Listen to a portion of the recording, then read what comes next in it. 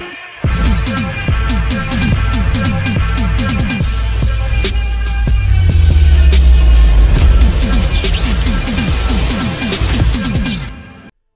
if things went differently? What if when Peter was feeling down and talking to Mysterio in the pub and offered Edith to Mysterio, he never actually gave it? Welcome back. In this video, I will be covering the events of what would have happened if things were different. A fair warning, this video does not cover what actually happened, it is merely fanfiction. With that being said, let's get right into it. The glass Peter holds feels so very cold against his skin as he stares at it in the dimly lit club. He has just finished fighting off yet another elemental, and the pressure of living up to his mentor, Tony Stark, Iron Man, weighs heavily on him. He talks to Mysterio about his stresses as Mysterio also holds a glass. He tells Mysterio that Nick Fury's expectations for him to be the next Iron Man are impossible that there's no way that he can live up to Tony Stark. Mysterio asks Peter what he truly wants, to which Peter replies that he just wants to enjoy his school trip and maybe even confess to MJ. But he says that he cannot because he has too many responsibilities. At that moment, a lady walks by, telling Peter that he dropped his glasses. Peter takes it and thanks her as Mysterio asks him what those are. Peter sighs, holding and looking at Edith, the glasses Iron Man left to him. He tells Mysterio that these glasses once belonged to Tony Stark and that he gave them to him when he died. Mysterio laughs and tells Peter to put it on, so he does. Mysterio asks Peter if he can be honest with him, and Peter tells him to. Mysterio then proceeds to say that the glasses look stupid on Peter, Peter gives a short laugh and takes them off as he tells Mysterio to wear them. Mysterio immediately refuses and says that he could not possibly do that. However, after some more pressure from Peter, Mysterio finally puts them on. When Peter sees Mysterio in the glasses, he starts to second guess himself. He remembers the note Iron Man left for him with the glasses. For the next Tony Stark, I trust you. Peter starts thinking that maybe, just maybe, Iron Man was wrong, or that he himself got it all wrong. Maybe Iron Man truly did not trust Peter with Edith and merely gave it to him to give to someone else he thought would be Iron Man. This is where the fanfiction starts. Instead of Peter insisting that Mysterio keep Edith like in the movie, in this fanfiction, Peter sighs. Peter thinks that he knows what he must do give Mysterio Edith. However, feeling a little nostalgic remembering his former mentor, he asks Mysterio if he can wear Edith one last time. Mysterio insists that he should and gives Peter Edith back. Peter sighs and looks at the glasses. The glasses his mentor used to wear and rely on, and puts them on for what he thinks will be the last time. He looks at Mysterio through Edith, the new Iron Man, but just as Peter is about to take Edith off, he hears Tony Stark's voice. He tilts his head in confusion as Mysterio asks him what it was wrong. Peter tells Mysterio that he can hear Mr. Stark's voice through Edith. Mysterio raises a brow and asks Peter what Iron Man is saying. Peter frowns and concentrates as he tries to listen to the message.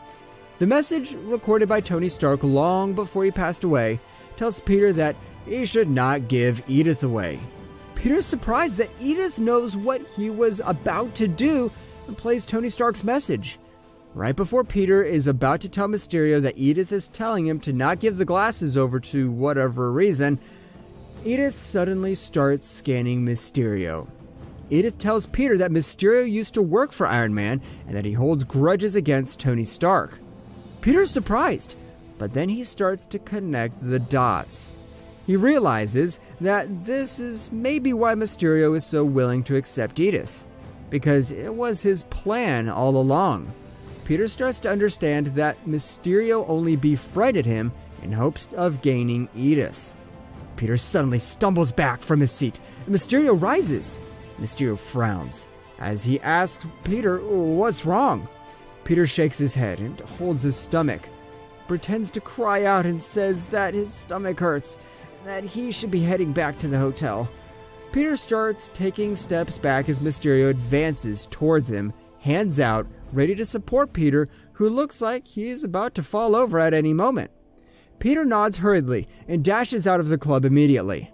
As soon as Peter leaves his view, the club melts to reveal that it was an illusion. Mysterio's staff starts asking him why he lost Edith. Mysterio frowns and says that Peter has found out about his tricks. He starts ordering that they send drones out to find Peter before Peter manages to get a hold of Nick Fury or the rest of the Avengers to tell them what is going on. Meanwhile, Peter is running as fast as he can towards the hotel. He starts telling Edith to help him find the fastest routes he can in while asking her to do some research on Mysterio. While he's doing this, Peter assesses that if Mysterio was a ploy, then the elementals must be fake too. He asks Edith to pull up an image of one of the elementals and to analyze it. Edith reports that the elemental seems to be full of drones and concludes that it was an illusion. Peter mentally scolds himself for not noticing this as he runs faster. Soon, he reaches the hotel. Ned in his room, pacing. When he sees Peter slamming the door shut, he jumps to his feet. Ned instantly asks Peter if he's okay and if anything is wrong. Peter frantically draws the curtains as he tells Ned about the elementals and Mysterio. Ned gasps and asks Peter what is he going to do now? Peter panics since he really has no idea what he should do now. He asks Edith if there is any way she can disable the drones. Edith says there is a way, but she has to be connected to the software. Peter groans before remembering that Ned is a whiz at technology. He quickly turns to Ned and asks if he can get Edith connected to the software. Ned says he can, but it might take some time. Ned hurriedly pulls out a computer and asks Peter for Edith so he can start the connection. Peter does so and starts pacing around, barricading the door and covering the windows more tightly in case Mysterio comes after him. Sure enough, there is a sound of commotion outside the doors within minutes. Peter looks at Ned in fear as Ned quickly types on the keyboard. Ned tells Peter that the connection is in progress, but that it's only at 57%, and it'll take a while more, and that they must wait. Peter sighs and paces more quickly as there are bangs against the door, the sound of drones trying to break in. He glances at Ned, who looks back at him, telling him to hold on just a little longer.